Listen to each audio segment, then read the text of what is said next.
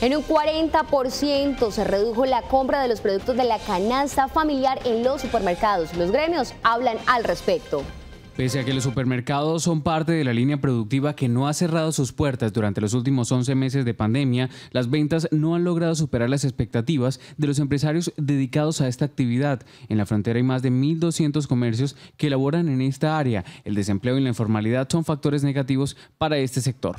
Las ventas han reducido casi en un 25-30%, la demanda se ha reducido, eh, los precios ah, ah, van a afectar mucho a lo que tiene que ver el, mercado de consumo, porque aunque los precios bajan, pero la demanda es menor. Los más afectados son los pequeños comerciantes que han trabajado a pérdida para cumplir con las obligaciones y préstamos. Las ventas se bajaron considerablemente, sí, es cierto, pero pues de una u otra manera hemos ido buscando alternativas pues para reponernos poco a poco y sobrellevar esta situación que de una u otra manera nos ha afectado a todos. El cierre de los puentes internacionales ha representado un reto para los microempresarios que dependían de estas ventas que se realizaban en el Escobal y en el corregimiento de la Parada, donde las ventas también se disminuyeron más de un 50%.